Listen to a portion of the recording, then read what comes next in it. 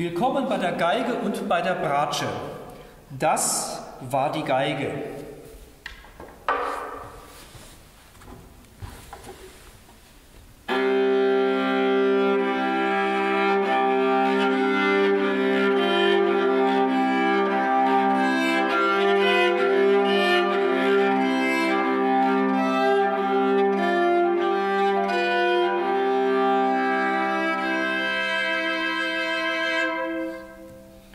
Das war die Bratsche. Die Geige ist ein sehr bekanntes und sehr beliebtes Instrument. Die Bratsche ist weniger bekannt. Als ich mit Geigen anfing, wusste ich nicht, dass es Bratschen gibt. Die Bratsche ist größer als die Geige, aber deswegen muss man nicht denken, dass nur große Leute Bratsche spielen können. Ich bin zum Beispiel nicht groß,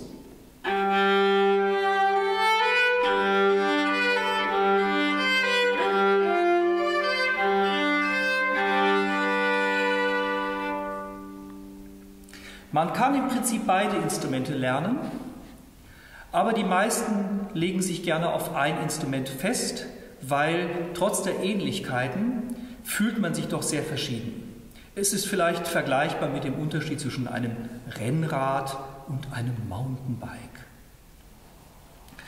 Für die Kinder gibt es kleine Größen.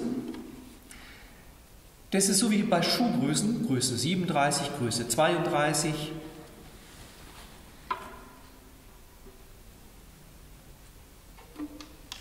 Das zum Beispiel ist eine Kinderbratsche.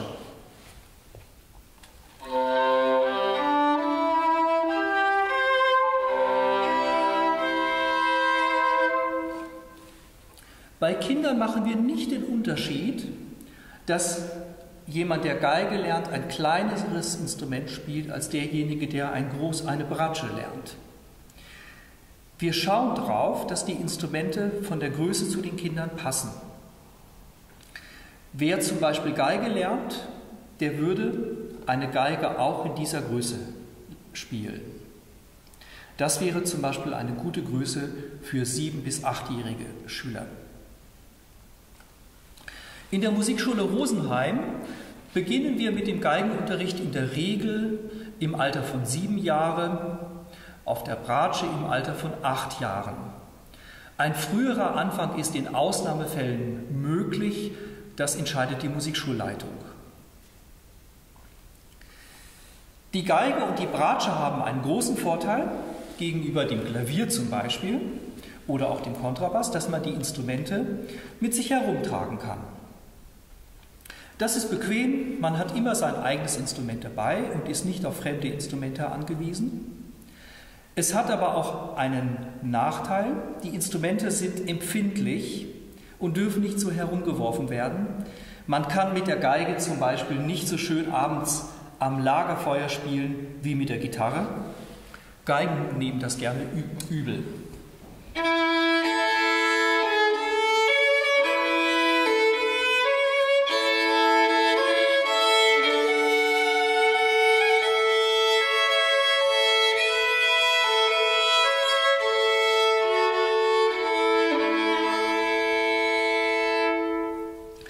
Eine wichtige Frage, die oft gestellt wird, ist, macht es einen Unterschied, ob man Links- oder Rechtshänder ist? Bei vielen Instrumenten gibt es diesen Unterschied. Es gibt zum Beispiel für Linkshänder spezielle Gitarren, die man andersrum hält. Das gibt es für Geige und Bratsche sehr, sehr selten. Und meine Meinung dazu ist, eigentlich ist es egal. Ich zum Beispiel bin Rechtshänder, deswegen fällt mir das Streichen leicht. Aber wenn ich mir anschaue, was meine linke Hand beim Geigespielen leistet, dann wundere ich mich, dass ich sonst mit meiner linken Hand nicht einmal Zähne putzen kann. Für Linkshänder wäre es genau umgekehrt. Linkshänder tun sich mit dem Streichen ein bisschen schwerer, aber man sieht deutlich, dass es ihnen leichter fällt, auf der Geige mit den Fingern zurechtzukommen. Deswegen ist mein Rat, Machen Sie sich darüber keine Gedanken, ob jemand Links- oder Rechtshänder ist. Es macht keinen Unterschied.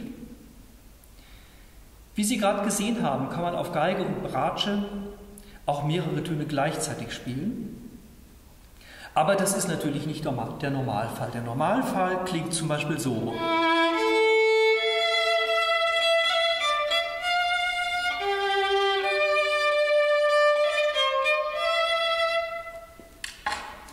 Zum Vergleich spiele ich jetzt mal dieselbe Melodie in derselben Tonhöhe auf der Bratsche.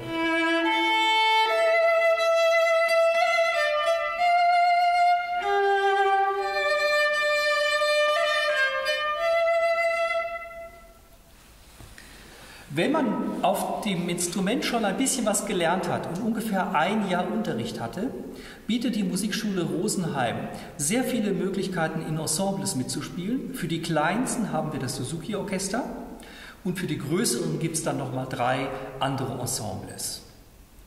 Jetzt wünsche ich Ihnen noch viel Spaß in und mit der Musikschule Rosenheim.